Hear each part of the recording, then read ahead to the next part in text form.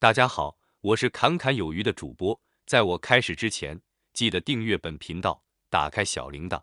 这样我发布新内容时，你才能获得最新的节目通知。像美国苹果等 IT 巨头，供应大量半导体及产品的台湾企业，业绩低迷前些日子变得愈发明显。据日经亚洲之前报道，红海精密等十九家主要 IT 企业。二月营业收入同比下降百分之八点五，以中国和美国为中心的个人电脑和手机的需求下降，呈现出难以预见复苏期的局面。日经调查台湾 IT 相关领域十九家主要企业的业绩，二月总营业收入为新台币一点零一七八兆元，十九家企业中只有四家实现收入增长，十五家企业收入下降。十九家公司中，营业收入最高的红海，营收下降百分之十一点六。由于需求低迷，苹果 iPhone 在中国的生产已经停滞不前。尽管一月份生产有所恢复，但二零二二年十一月和十二月之后，收入仍再次陷入负增长。从半导体相关领域来看，第一大厂台积电营收增长百分之十一点一。但二零二二年秋季后营收增速继续放缓。此前因车用半导体供应短缺而表现强劲的联电营收下滑百分之十八点六，联发科营收也锐减百分之二十四点三。另据海外媒体 WCCF Tech 报道，市场传闻 AMD 已经将二零二三年第二季台积电五纳米 EPIC Genoa CPU 晶圆订单量减至仅三万片。原因不是五纳米 EPIC Genoa CPU 销售不佳，而是整个伺服器市场需求减少。研究数据也显示，在 EPIC Genoa、Bergamo 和 Sienna 等各系列伺服器处理器的加持下，AMD 的市占率将在2023年提升至百分之二十点五，ARM 的市占率也将升至百分之八点一，英特尔的市占率则将下降至百分之七十点九。不过，由于全球经济形势的下滑，二零二三年全球伺服器市场也并不乐观。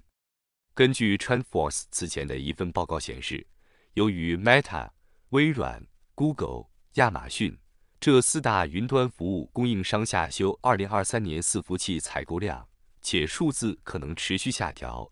，TrendForce 已将二零二三年全球伺服器整机出货年增长率下调到了百分之一点八七。尽管半导体寒风不断，但台湾《工商时报》三月中旬报道，联发科近几季运营都受到消费电子市场库存调整影响。不过，目前联发科传出接单动能开始回温，受电视市场急单、中国手机去库存顺利等影响，第二季营运有望。重回千亿元新台币之上。供应链传出，联发科在第二季成功拿下电视客户及亚马逊智慧音箱急单，加上手机客户订单有望在第二季开始回温。在电视晶片方面，相关供应链指出，自从第一季开始，联发科开始向台积电、联电以及力积电等晶圆代工厂加大电视晶片投片量。且相关封测厂也获得联发科通知，将加大封测量能，且预期这波订单动能将有机会逐季成长，成为联发科唯一预期全年都渴望向上增长的产品线。据了解，在二零二二年第四季电视市场陆续传出急单，显示市场库存已经回到健康水位。自今年第一季起，电视市场回补库存的力度趋势更加确立。成为联发科在第一季就对今年的电视市场保持乐观的主要原因。在消费电子市场方面，虽然整体需求低迷，不过近期业界传出亚马逊已经开始陆续释出急单，联发科为亚马逊智慧音箱晶片供应商。第二季目前订单动能仍未显著回温，但后续亦有机会再度拿下急单。除此之外，供应链指出。目前，中国手机库存正在逐步转好。第二季起，联发科下单力道有望稳健回温，且回温力度有望延续到下半年。法人推估，联发科第二季合并营收有机会挑战季增两位数水准，上半年将顺利达成逐季成长。同时，据台湾电子时报近日报道，供应链消息人士称，包括联发科、联咏和瑞昱半导体在内的台湾主要 IC 设计厂商的收入已出现复苏迹象，表明其库存调整即将结束。交货期短的急单大量涌入，市场预期2023年 IC 设计厂营收将逐季回升，但年内 IC 市场需求能否顺利复苏，仍需拭目以待。联发科二月营收环比增长百分之三十五点四，但同比下滑百分之二十四点三，达到三百零三点一亿元新台币。联咏二月份销售额环比增长百分之五点七九。同比下滑百分之三十四点八三至七十六点四一亿元。今年前两个月的收入同比下降百分之三十八点一七至一百四十八点六五亿元。由于加急订单的增加，该公司认为第一季度的收入前景更好。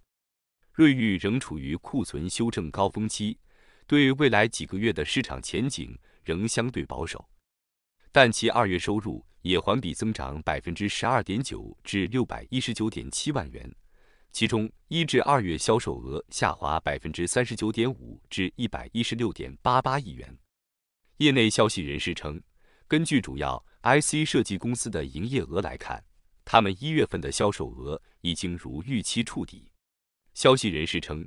部分晶片的订单能见度在七月之前会很明显。但大多数其他应用的订单可见度在下半年暗淡，并补充说，IC 设计公司在2023年的剩余时间内看到需求逐渐回升将是幸运的。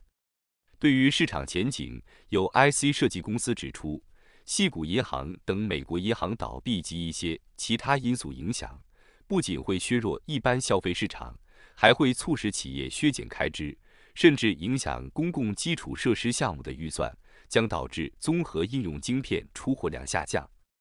同时，据半导体设备公司消息人士透露，台积电的部分晶圆厂利用率，包括七纳米、六纳米工艺节点的利用率，将在四月份开始恢复，比市场此前预期的要早。根据收到的订单，消息人士预计，台积电五纳米和七纳米工艺平台的利用率。在第二季度将比第一季度有所提高。消息人士指出，代工厂二十八纳米工艺节点的利用率也将上升至接近百分之一百。自二零二二年九月以来，台积电 Fab 十五 B 的七纳米、六纳米制程节点产能利用率快速下降，今年一季度已跌破百分之四十。消息人士称，二季度利用率将升至近百分之五十。由于客户订单减少，二零二二年十一月，台积电 Fab 十八 A 的五纳米、四纳米制程节点产能利用率开始松动。但随着订单恢复，预计该厂五纳米、四纳米制程产能有望改善。台积电三纳米工艺技术方面，消息人士称，随着生产良率的提高，产能利用率将在第二季度接近百分之七十。同时高于第一季度的百分之四十五至百分之五十。该代工厂在 Fab 十八 B 生产三纳米晶片。消息人士称，台积电营收有望在第二季度恢复环比增长。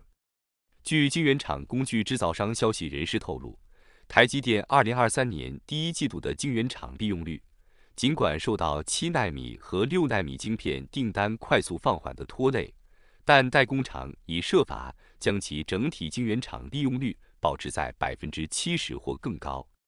同时，据相关媒体三月下旬报道，在晶片短缺期间曾多次上调晶圆代工价格的台积电，在今年下半年可能再次涨价。根据半导体设备厂商消息人士透露，台积电可能考虑在今年下半年再次涨价，但同二零二零年底开始的多次涨价不同，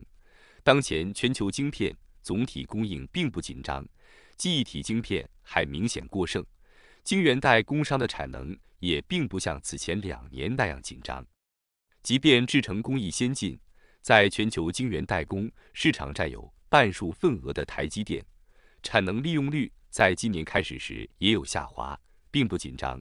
因而他们下半年可能涨价的原因与此前也就有所不同。那么本期影片到这里就结束了，感谢你的观看，期盼能与你产生共鸣。侃侃而谈，阔论有余。最后，请你点赞、订阅，这是对本频道最大的支持了，谢谢。